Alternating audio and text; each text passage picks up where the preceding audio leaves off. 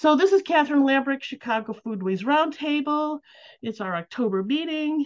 We it's like this year's gone so fast, unbelievable. Our program tonight, um, feeding the Art Deco spirit, was recommended to me by uh, Colleen Sen, who um, had uh, heard this program um, earlier this year, and uh, and then I and then she goes, "It's Teri Edelstein. You know her, right?" I I know the face. I just didn't put everything together. But tonight, and so she's been a long-term member of Culinary Historians. I just I just didn't know everything that she was, but now I do. Uh, anyway, Ter- Dr. Teri Edelstein is curator and museum consultant and is principal of Teri J. Edelstein Museum Strategies. She served as deputy director of the Art Institute of Chicago, and before that, as director of the David and Alfred Smart Museum of Art and the Mount Holyoke College Art Museum. She's taught at Yale University, Mount Holyoke College, and the University of Chicago.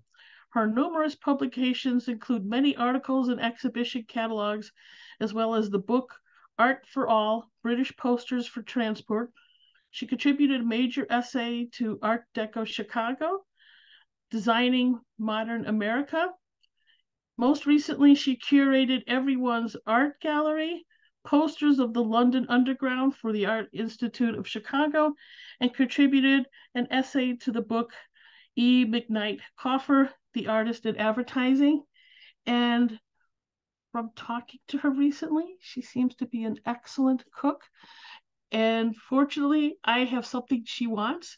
I'm going to go visit her and we're going to i'm going to teach her how i make a pie crust. So it's always fun to be able to offer something to people who are so talented. So terry i'm turning it over to you. Um, i'm thrilled I'm, I'm thrilled to be here and I'm thrilled to do this for the culinary historians of Chicago. And I'm especially thrilled by my promised honorarium, which is my lesson from Kathy. That's like the best honorarium I've ever had. Um, so I'm particularly excited about that. And thank you very much, Kathy. I'm looking forward to that. Now, I spent most of the pandemic doing research and publications and lectures related to Art Deco, and also cooking and baking for my husband and myself and many friends. So I decided that it would be fun to explore the intersection of these two interests. This topic touches upon a central aspect of the culture and lifestyle of the 1920s and 30s. After the privations of World War I, the economies of the US and most European countries improved. Food became far more plentiful and was infused with glamour. Many aspects of food preparation, serving, and eating were affected by the new mode of representation that developed in these years. The style we now call Art Deco began to develop around 1914. It emphasized geometric shapes and streamlined forms. As you will see, you could exist in an entire Art Deco world where everything from the soup to the nuts was inflected with this style. It encompasses where one prepares food, and I'm showing you here um, two different kitchens of the era, and where one eats, whether in private spaces such as this breakfast nook designed for himself by John Wellborn Root for 1301 Astor, his apartment there, or in grand spaces, such as this official dining room that was exhibited at the Paris World's Fair in 1925. In exclusive luxury, such as the Mirror Room in our own Women's Athletic Club in Chicago, or enormous public places, such as the original dining room of Eaton's department store in Montreal. Restaurants in Deco style proliferated.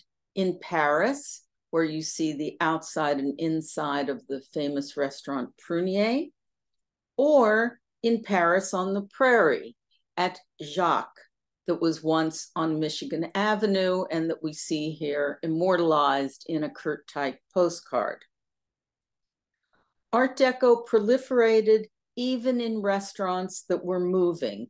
And I'm showing you now the first class dining room of the magnificent Normandie ocean liner. Art Deco can be seen in dining furniture and the table settings upon it. And these are just a few of the myriad uh, table ceramics that were created in the Art Deco style this, if I have a single favorite object in my uh, talk, it's probably this plate by Jean Luce. We see Art Deco in the machines to cook food. We see its manifestation in menus perused and in cookbooks to instruct. We find Art Deco in shops to buy food and in suggestions for purchases. And through the miracle of um, PowerPoint, I was able to add this fabulous poster that my husband just found yesterday for me, which is advertising a cooking oil in the Netherlands. The Exposition des Arts Décoratifs, which was held in Paris in 1925, is the source of the name Art Deco and the scene of a great flowering of the style. It was primarily intended to promote French luxury design, and many prominent French firms whose creations related to the serving and consumption of food were there. Here are just a few. Sèvres in a pavilion that was uh, designed by Lalique and here's a display from one of the department stores, the Studium Louvre. Great works of art, decorative art, were created in Deco style to facilitate the serving of food all over the world. Here are some cake plates from uh, Germany, from the collection of the Kunst und Gewerbe Museum in Hamburg, which is an extraordinarily uh, great museum. Here's a tea set from Japan done in Art Deco style. And another great favorite, this set specifically made to serve antipasto, uh, done when he was quite young by the great book illustrator Bruno Munari. There's many things like this, but in order to make this topic manageable for this brief discussion, I'm going to confine myself to a few examples in books and other printed works. Choosing such works has the added advantage of suggesting how the Deco style spread throughout the world and became something of a universal style. In France, during the Deco period, there were many portfolios and they have names with titles. I've translated them into English. Titles like Living Architecture, A Miscellany of Modern Taste, International Art of Today, and there were a great many of these. They documented designs such as dishes and glassware by well known designers. Many of them included spaces for eating and drinking, such as in the repertoire de, de goût moderne. The burgeoning of the economy in the recovery from World War I meant a proliferation of stores, shops, cafes, bars, and restaurants. And many of these featured the work of prominent designers. And I'm showing you here a bar and a dining room designed by Charlotte Perriand. And here is a very elegant casino um, designed by Robert Mallet-Stevens. The scale and elegance of his pale blue and yellow casino gives a sense of the luxury that pervaded much of this style. These port two portfolios entitled Cafes, Bars, and Restaurants exemplify a literal consumer culture as we see the patrons eagerly eating and drinking such creations as this lobster. And here you can see it a little more close up. The books and prints of the artist Jean-Émile Laboureur depicted every conceivable venue where one could satisfy one's hunger, often in stylish settings. He depicted cafes, bistros, and taverns. But Laboureur depicted a wide range of customers. You'll note the wooden sabot shoes um, on the patrons in the tavern on the right. And these people would have been rather out of place in the great uh, casino of Robert Mallet-Stevens, which I showed you a moment ago. In a book entitled Plaisir or Pleasures, this book was published as a piece of advertising by a pharmaceutical company and included chapters by many different artists several of which touch upon the pleasures of food, not surprisingly in France. In Laboureur's own contribution, En route, or the pleasures of travel, the enjoyments of voyages often included eating, of course. His use of the lithographic crayon echoes the pointillism of earlier artists like Seurat to create compositions in red and blue. A blue soda siphon sits at the center of a group of self satisfied men, while a barmaid, Manet like, and I'm showing you Manet's bar at the Folies Bergère of some years earlier, looks on impassively. The staccato accent of the palms on the right form a canopy above the men. And in a typical Laboureur touch, the stasis of the scene is broken by the patron in the upper left, awkwardly putting on his coat. Of course, all of these diners had to decide what to eat. After reviewing the entire online collection of menus of the New York Public Library from the 1920s, 30s, and 40s, I concluded that the Deco style was seen primarily in the menus of ocean liners. Perhaps because these ships used up to the minute decor and a unity of style as a way of attracting passengers.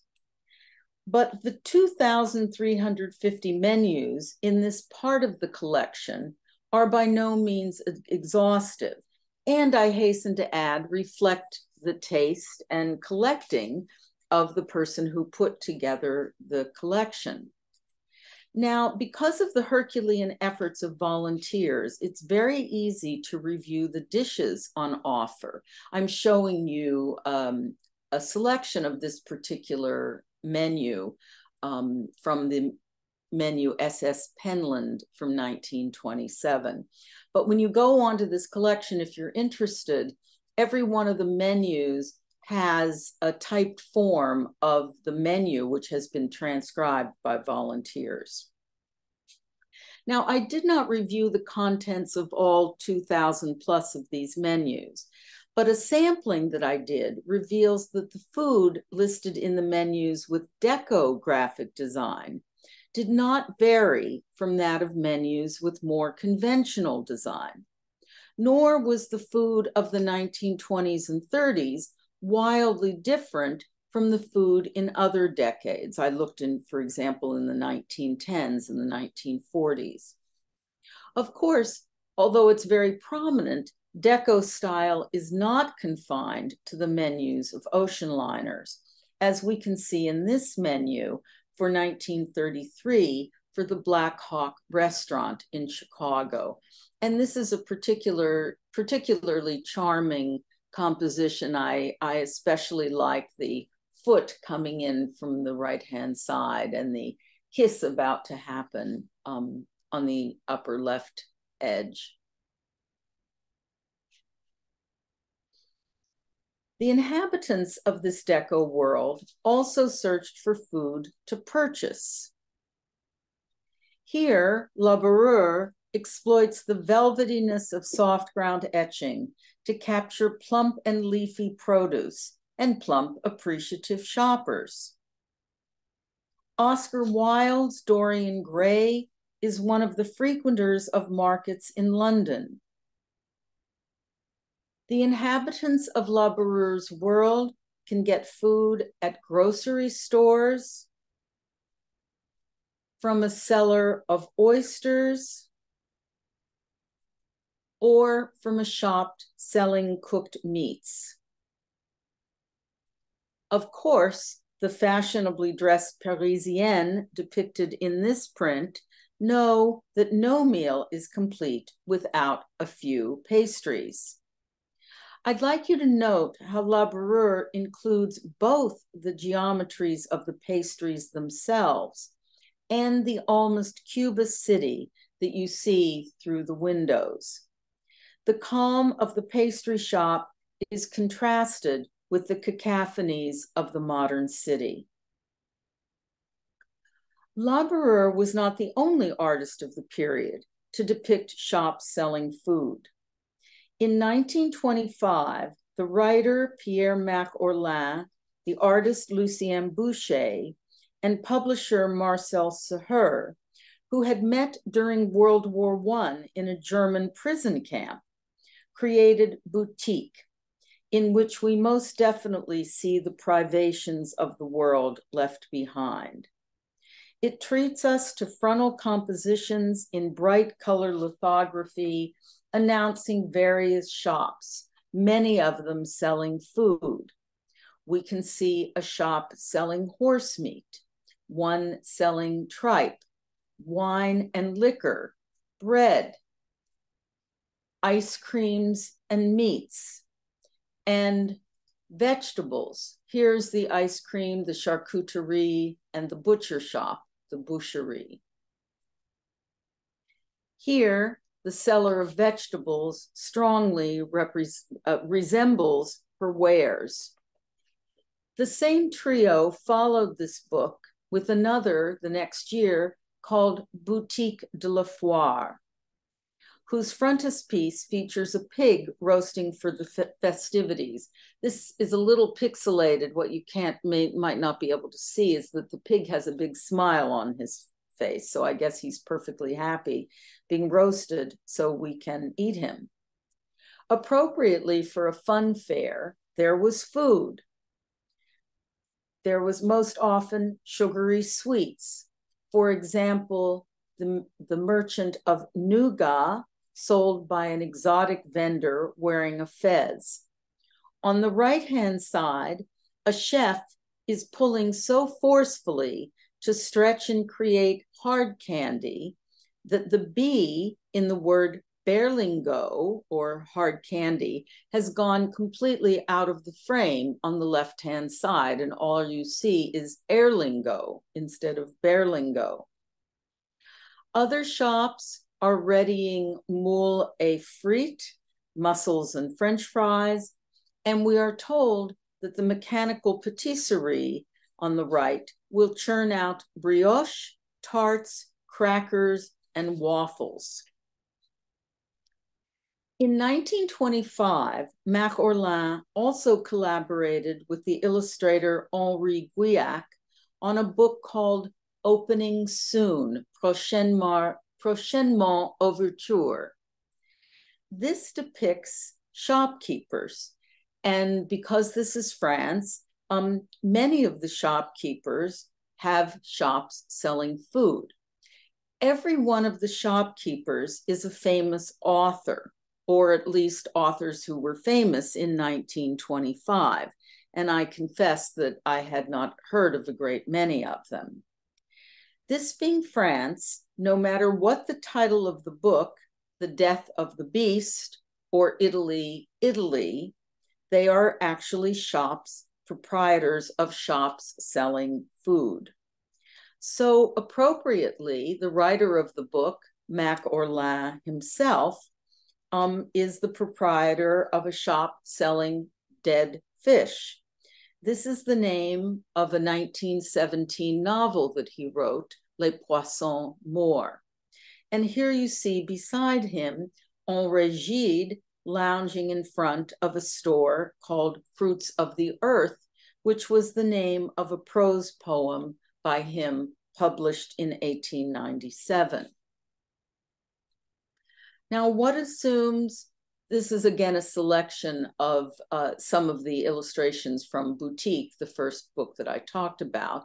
And if you look at these, I think you will agree, and I've put them up in order the vegetables and the butcher, um, that you will see that the illustrator of this book, uh, a woman named Nathalie Parain, most likely knew these earlier books when she created this book called Faites votre marché, make your market.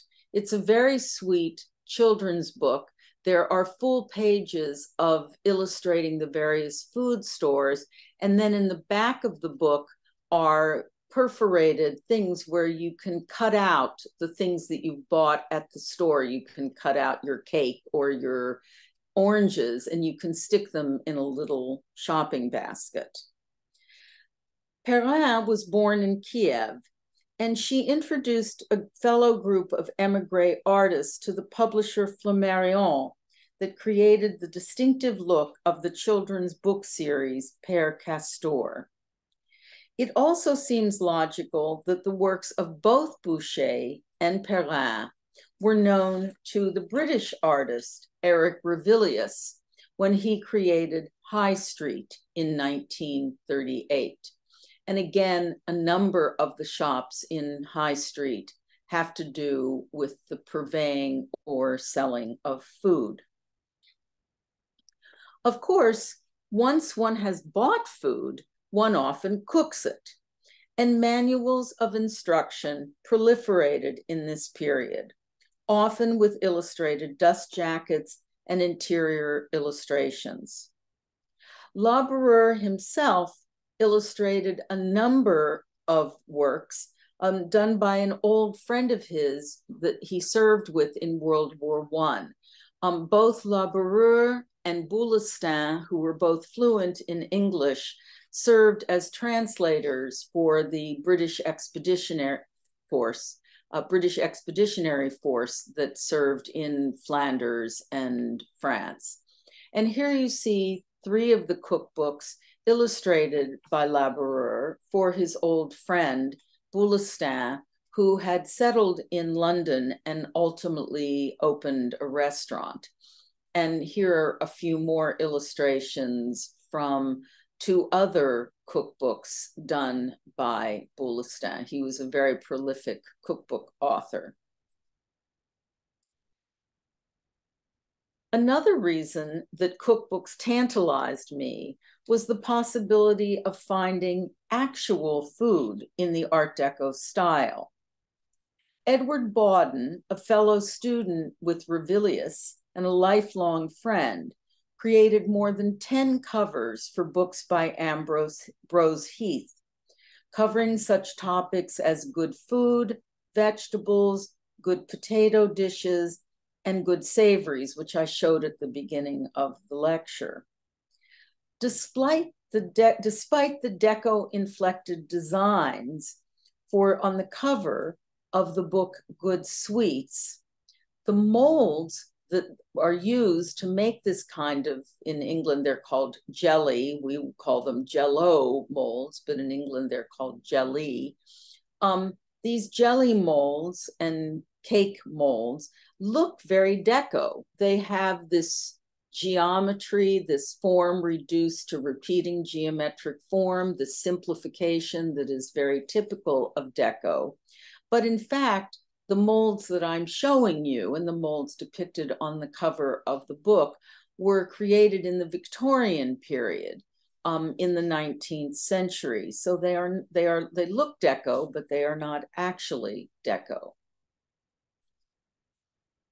Now, I in looking for cookbooks, I went through the uh, catalog of cookbooks in the Crerar Library of the University of Chicago for the 1920s and 30s. And I was very excited when I found the 1939 title, streamlined cooking because I hoped that in that I would find other examples of streamlined food. I already knew this wonderful example, which I thought was a quite inspired inclusion into the book um, Art Deco Chicago Designing Modern America. Um, this is the Twinkie, of course. Invented in Chicago, the Twinkie is a filled version of something called Hostess dessert fingers that promised, quote, no ragged edges or uneven corners, end quote. And I hoped that streamlined cooking would include more dishes in this streamlined shape. But the subtitle of the book, New and Delightful Recipes for Canned, Packaged, and Frosted Foods and Rapid Recipes for Fresh Foods, told me that as I turned the pages of the book, I was not going to find food in the Art Deco shape. You undoubtedly will recognize the names of Irma Rombauer and Marion Rombauer Becker um, because this book followed just by a few years um, Irma Rombauer's Joy of Cooking. One of the other problems in finding actual Art Deco food is that very few of the cookbooks of this era featured illustrations. Inspired by the fact that Art Deco is primarily a style of wealth and luxury, I decided to get down off the shelf the cookbook entitled Fancy Salads in of the Big Hotels, which was published in New York. And here, in the numerous grainy illustrations, I found a sensibility that echoed the submission of natural forms to geometry that characterizes Art Deco. These chefs used vegetables and fruit to recreate forms which really hearkened to some of the most famous designers in the Art Deco style and I'm comparing the coronation pear salad and this salad of um, eggs and tomatoes um, with some of the works created by Edgar Brandt. And it's interesting to note that Brandt actually had a showroom in New York um, where these salads were created. But even greater pertinence are the creations of Bernard Lembrecht. And I give thanks to my friend Martha Fleischman, who, when she knew I was working on this lecture, um, sent me um, information about this book. The son of a pastry chef, Lembrecht trained in a little town called Wolfenbüttel, Germany, not far from um, Weimar, and then directed the school there. His school published his book, Vom neuen Stil in der Konditorei Kunst, probably in the year 1929. This is the English translation from the following year. Lembrecht saw his confections and his teachings as an extension of a philosophy. And certainly his philosophy and stylistic tenets are inspired by the Bauhaus School, founded in Weimar in 1919. Lembrecht notes in his introduction, quote, the new era is beginning to impress its style on every circumstance of life. And the, end quote. And that, of course, includes the food itself. He aspires to adapt baking in appearance to, quote, the present times, end quote. He cares about technique, economy, taste, and cleanliness, which all form the basis for the culmination of pastries with, quote, artistic ability and taste of marked individuality. Now, I'm comparing here Lembrecht's cakes with a plate designed by the Bauhaus trained Margarete Heymann and another plate created in Germany at exactly the same time that Lembrecht was creating the designs for his cake. His book was published in English probably in 1930 as The New Style of Confectionery. And I showed the cover a moment ago, and some of you with good eyesight might have noticed that it was published in Glasgow and London. And I would dearly love to know how this self published book from Wolfenbüttel, Germany, was translated and published in Glasgow. I was very tempted to attribute the place of publication um, to the presence of the renowned Glasgow School of Art in Glasgow, whose philosophy and style was an influence to the Bauhaus itself. And the a graduate of the school and the designer of its now tragically lost uh, school building is an artist named Charles Rennie Mackintosh, who was very well known and much revered by European modernists. He even did a design for a house in Berlin in 1901. And I'm showing you as a comparison to a detail of this hazelnut gâteau by um, Herr Lembrecht, um, a window from that house in Berlin by Mackintosh, and then another window by him from um, Hill House in Glasgow. But Mackintosh's work, his designs were widely published and widely available in Europe, um, beginning in the uh, late early 20th century. But the more I researched it, it turns out that the place of publication was a complete coincidence and there is no real relationship. Um, but it was still fun to think about it. Um, I also am showing you now a comparison of um, Lembrecht's cakes to two French designs, um, which I showed before from the Repertoire de Goût Moderne. And I'm showing you these um, not because I think Mr. Lembrecht, Herr Lembrecht necessarily looked at these plates from the repertoire de, de goût moderne, although he could have done. Um, but I'm rather showing them to you as a way of indicating that the motifs that he's using in the cake decoration were by this time the beginnings of a real universal style that we see um, in another in other places. And if we needed, here's another detail from the repertoire, this one by Francis Jourdain. And I think you can see there is a relationship. And again, I'm not postulating that, that Lembrecht actually looked at these plates, but just to show that there is a continuity of style. And the international manifestations of that style um, we can see them even in Chicago um, with these two compacts that were produced by Elgin American in Elgin, Illinois. Um, I myself was wondering what one of the cakes um, would look like, one of these German cakes would look like on a German cake plate of almost exactly the same uh, date as the cookbook. Now, I've spent most of my time talking about the feeding part of my title.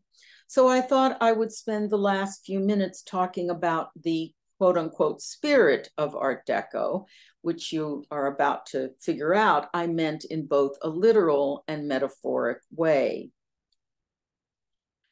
The bubbles, fizz, and effervescence of champagne seems to lend itself particularly to the sinewy lines of Art Nouveau. Fewer memorable Art Deco images promote the drink.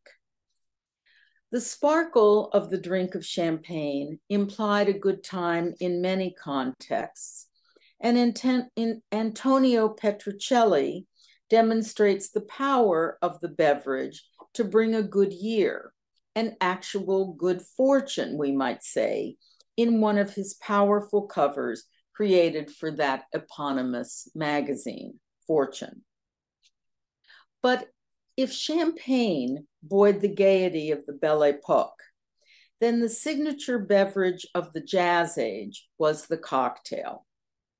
We can see this theme in a print here by Laboureur, in which you see people conversing and then all the different things one needs to make a cocktail um, spread out on the table in front of them. And we can see this theme in another marvelous image um, from a book by uh, the illustrator, artist and illustrator Thomas Lowinsky that was published in London in 1930. It's a marvelous book entitled Modern Nymphs, in which various nymphs from antiquity are translated in the contemporary into the contemporary age. And it's quite delightful to see Circe in an appropriate setting with this tubular furniture, um, preparing drinks for Odysseus and the rest of the fleet, whom you can see coming in um, from the left hand side out the window. Even food um, depicted in this time period um, seems to be created in the geometry of Art Deco. Of course, America particularly embraced the concoctions of the cocktail because the country had just been liberated from prohibition, which lasted from January 17, 1920 until December 5, 1933. And I assume no one in America drank um, when liquor was illegal. Here we see the January 1934 issue of the sophisticated magazine for men, Esquire, founded the previous year in Chicago. You can see the enthusiasm of their sort of mascot, Esky, who is practically diving into a cocktail glass.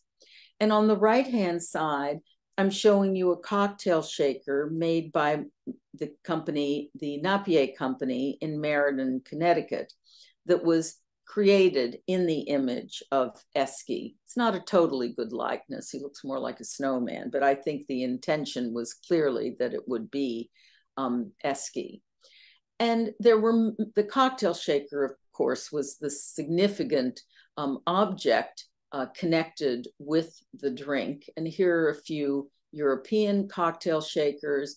And of course, after prohibition was list, lifted, um, we see a number of cocktail shakers created in America. The cocktail was indeed um, a worldwide phenomenon, even depicted in Japanese prints. And I'm currently working on a, another article which will um, talk about that specifically. How to manuals proliferated. Here's one called Shake 'em Up. But the most superlative um, masterpiece of the genre of how to books about cocktails, judged by its provenance, the knowledge of its author, its comprehensiveness, and not least the quality of its design and production, was the Savoy cocktail book. Its elan and energy is trumpeted by the cover, where the cocktail imbibed is a, becomes a gold lightning bolt descending past the heart of the drinker. And the lively geometric pattern on the right gives a sense of the excitement that awaits the reader.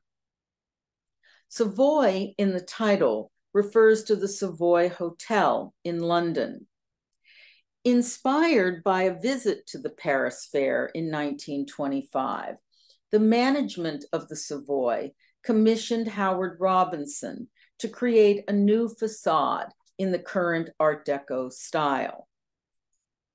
Authored by British born Harry Craddock, who had emigrated to the United States many years earlier, becoming a renowned barman in New York at the Knickerbocker Hotel but in 1920, when prohibition was enacted, he returned to England. And this book touted his position as head bartender of the American bar in the hotel. Because of Craddock's fame, the bar became an in place to drink.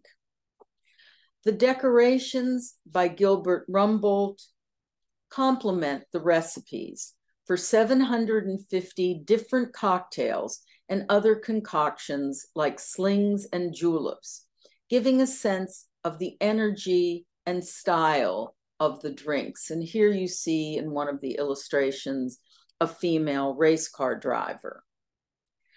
The illustrations frequently reference specific cocktails. The Commodore cocktail is illuminated with waving flags and a precision dance line of sailors. Slinky gold diggers grace pages, as does, as the, the um, text describes it, a cocktail party in the very best manner of the period. We see the jolt of thunder and lightning, and you feel almost tipsy as a biplane careens through the sky. What better way to embody the excitement of a drink called a fizz than with the dynamic cityscape of skyscrapers? So I hope that you enjoyed the lecture and I look forward to your questions. And I hope that everyone will join me in saying cheers to Art Deco. Thank you very much. That's wonderful.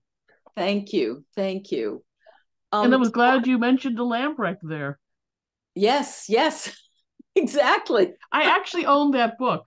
Do you? Do yes. you? It's a wonderful, wonderful book. And he gives descriptions of how, of course, you know, he gives descriptions of how he makes the cakes. The that round circle was um glacade pears and almonds. And he it's it's quite wonderful to read read the cookbook.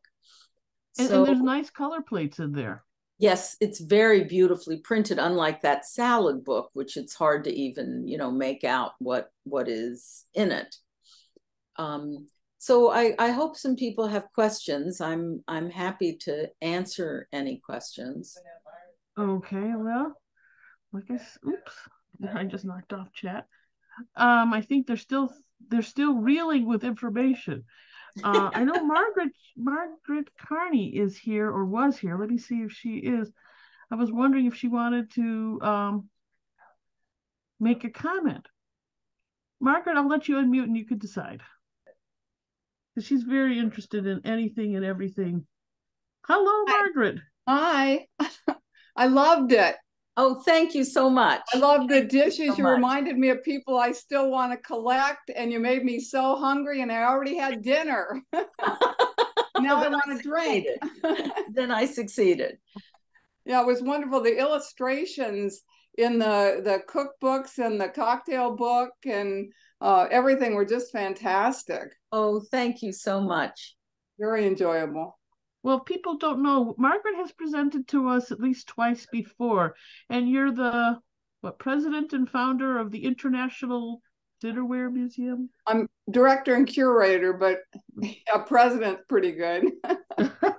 well, you know, you might as well honor people, right? When you don't always remember the title. yeah. Oh, thank you. Yeah, that was fabulous.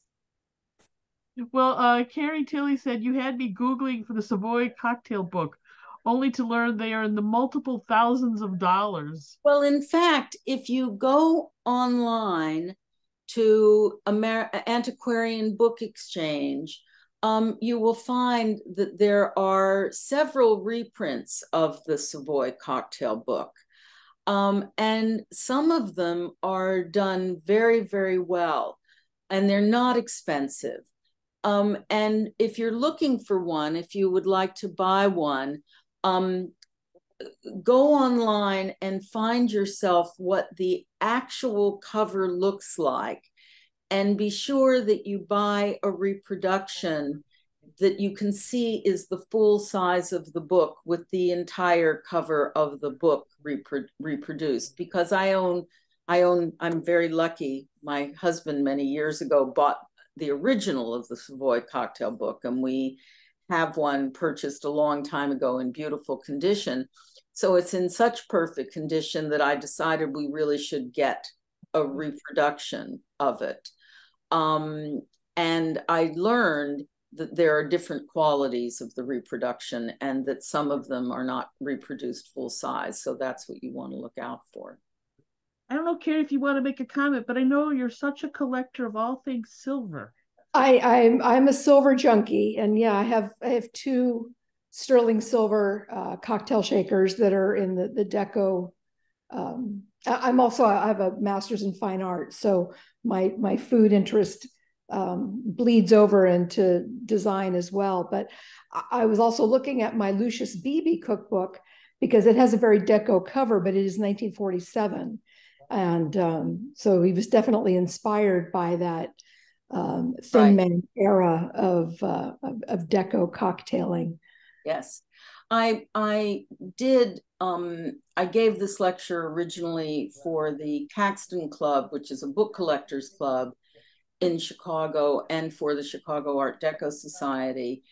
And the Caxton Club asked me to write something for their little uh, journal. And I expanded on the cookbooks. And there are, in fact, a tremendous number of cookbooks with fabulous deco um, covers primarily, but also with interior illustrations. Um, but again, they don't have food that we would define as being art deco they're just using the contemporary deco style to i think i have a good half dozen deco covers but you're right there's no illustrations or design that right uh, well i'd love if you'd be willing to share with me i'd love to see some of the other um, deco oh, sure. that you found because i'd love i found I found a number that I didn't illustrate in this particular lecture. You can just, I could have talked for if I showed all the dishes I had found and all the everything I had found, I would be talking for, you know, six or eight hours. And I didn't think anybody wanted to listen to me. For... I'm, I'm, impressed that you found the cakes. I that I had not seen those before, but I will well, I will I, as I said, those were found for me by my dear friend Martha Fleischman. I don't I, I then bought that cookbook so that I would have it, but I don't know that I would have ever discovered that without her. I'll get your contact info from. Oh, uh, thank you. That would Catherine, and send you send you a few pics of my cookbook covers. I am looking over that. at my shelf. I would be very grateful for that. Thank you. Thanks, Carrie. Thank you. It was great. Thank you. Oh yeah. Thank you. Um, so uh, Anne inquired, what did you discover about trends in colors in tableware during the Art Deco period? I can't say that that I discovered the, the only thing that I would say is there are, particularly in England, and there are big variations between France and England, but particularly in England, um, there's a, a lot of use of very, very bright color. You don't find that in quite the same way in, in France. But in England, there, there is in, in the great um, Deco uh, ceramicist Clarice Cliff, Burslem pottery, um, Carter, Stabler, and Poole. Um, there are a number of things, and and many of those are are more brightly colored than. And I showed a, a dinner set in the lecture on the right. That that image on the right was by Susie Cooper, but you notice the plate on the left um, by Suzanne Haviland um, and then that wonderful fish plate that I showed by Jean Luce, um, those are more, much more restrained. Do we have some additional questions here? I, anyway, I just want to tell you how I did acquire that Lambrecht book. Oh, how um, did I did a I had a I had a search on um on eBay for my last name. So I've picked up a bunch of stuff that very interesting, and some of it, well, who cares? I mean, it's like a fish fly, a fish fly. His last, his last, name is very close to yours. Very, very. It's exactly my name. isn't his it's it's how do you spell your last well, name? you have oh you, you L A M B R E C H T. I know there's variations with a P instead of a B, but I think he's B R E. It's but it's L he's L E M, but it's very close. Mm, okay, I'll take a look at the I book. think his, he is Lem Lembrecht. So, but it's very, very close indeed. You're very lucky to have that book. It's a wonderful, wonderful book. And and I bought it before people seemed to realize it was something to get because I got it very inexpensively. Yes, that's the secret to be first off the block. That that's definitely the secret. And it was just totally vanity on my part that I even got it. but so you lucked out. I sure did. I sure did. Does anybody else have any more questions? I think people are, you know, when you do a very thorough job like you did, sometimes there is no question to ask.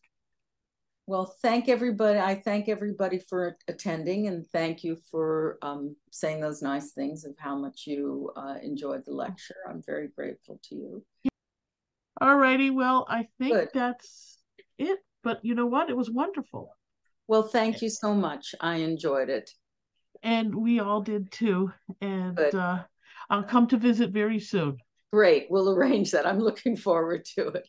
Me Thanks too. a lot. Good night. Thank everyone. you. Good night. Oh, wait, Carrie has a question. Wait. Oh, Carrie, okay. are you raising your hand? No. Oh, you're just oh, oh she's clapping virtually. Sorry. Oh, that's very kind. Thank you very much.